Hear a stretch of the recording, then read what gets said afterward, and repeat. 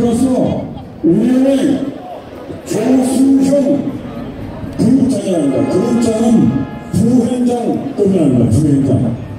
들어가서 우리의 북한 네, 조용하세요. 우리의 북한 상문을 전달했습니다. 전달하면서 제가 평안한테 물었습니다. 우리는 대국민 사과할, 사과할 생각이 있느냐? 전혀 없고 앞으로도. 그렇습니다. 아직까지